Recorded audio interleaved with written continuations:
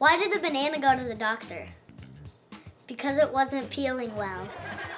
Why couldn't the astronaut book a hotel on the moon? Because it was full. What did the wolf say when it stubbed his toe? Ouch! What do you call an old snowman? Water. What is a pirate's favorite letter?